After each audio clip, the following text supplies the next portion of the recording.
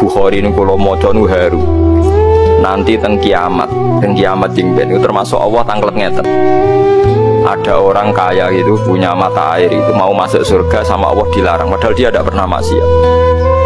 Dia hanya pernah ada orang miskin itu mau ngambil air tidak boleh. Ini kamu nggak boleh, ini milik saya. Air ini milik saya. Al yauma amna ufaddi kama mana tafad lama lam takmal yadaka. Kalau saya apal hadis. Al yauma mana tufaddi kama tamna ufad lama la takmal yadaka. Saiki kowe rata kei fadolku anugerah. Mergo kowe tau nyegah banyu sing kowe ora melok gawe. Ini kelirunya hukum fikih. Jadi Anda kalau terlalu yakin sama hukum fikih, itu mesti ono keliru nih memang secara hukum legal tanah ini milik Anda, maka otomatis air yang di situ juga milik.